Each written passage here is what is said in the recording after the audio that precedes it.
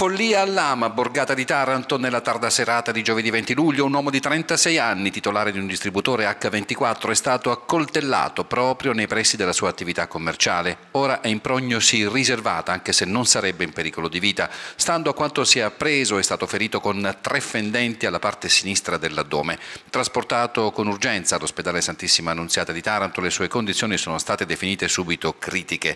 L'aggressione è avvenuta in contrada battaglia, poco prima della mezzanotte Oltre ai sanitari del 118, sul posto anche tre volanti della Polizia di Stato, della Questura di Taranto e gli uomini della squadra mobile. Si indaga per risalire all'autore e al movente. La Polizia ha visionato le immagini delle telecamere di videosorveglianza presenti nella zona del ferimento e sarebbe già sulle tracce del presunto autore. Non si esclude nessuna ipotesi, dalla lite finita nel sangue, quella più accreditata, al tentativo di rapina.